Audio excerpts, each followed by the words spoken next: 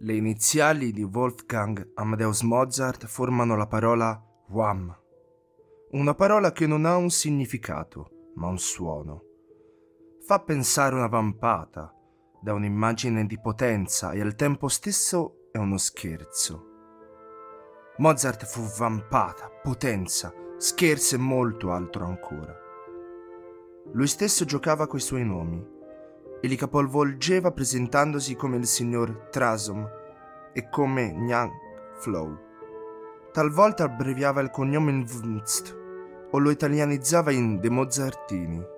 Quando aveva già superato i trent'anni, gli piacque attribuirsi il nomignolo di Punchi Tititi. In una lettera del 24 luglio 1787 e forse in altre occasioni, accadde anche a lui di firmarsi con l'esplosiva sigla di Wham! Mozart fu grande anche perché sapeva divertirsi. Possedeva in sé tutti gli stati d'animo che la musica è in grado di esprimere. L'ironico e il tragico, il giocoso e il doloroso, il passionale e il distaccato, l'angelico e il demoniaco. Lavorò sempre con grandissimo impegno. Taluni credono che la musica gli uscisse di getto, quasi spontaneamente grazie al suo genio.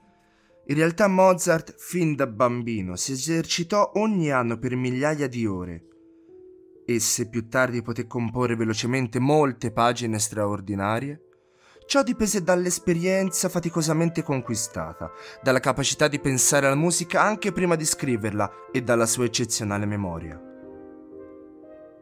Nonostante la brevità della sua vita, riuscì a produrre più di 20 opere teatrali, più di 40 sinfonie, una trentina di concerti per pianoforte e orchestra, una ventina di messe, un centinaio di altre composizioni per pianoforte, più di 200 danze, una settantina fra quintetti, quartetti, trii, duetti.